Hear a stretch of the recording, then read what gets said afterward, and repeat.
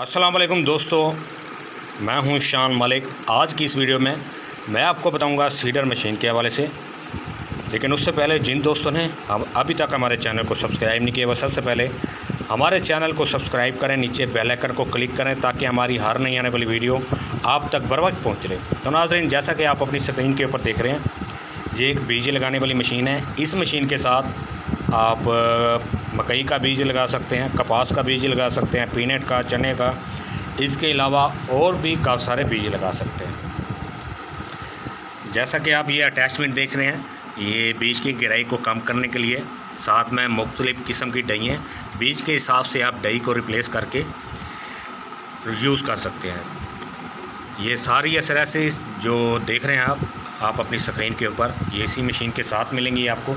अलहदा से आपको इजाफी, कोई चीज़ लेनी नहीं पड़ेगी। तो नाजरीन, हमारा जो एड्रेस है, मुल्तान कैंट रेलवे स्टेशन के Sangam J M S tower के नाम से। अगर आप इसको परचेज़ करना चाहते हैं, अगर मुल्तान में आना चाहते हैं तो मोस्ट वेलकम नहीं तो हम आपको ऑनलाइन डिलीवर कर सकते हैं पूरे पाकिस्तान में, जहाँ आप कहेंगे। मैं उम्मीद करता हूँ कि मेरी तमाम वीडियो की तरह आपको ये वीडियो भी अच्छी लगी होगी। अगर के वीडियो अच्छी लगी हो, लाइक करें, अपने दोस्तों के साथ ज़रूर शेयर करें। नेक्स्ट वीडियो में मुलाकात होगी, तब तक के लिए अपने मेज़बान शान मलिक को इजाज़त दीजिए। अल्लाह ने के बाद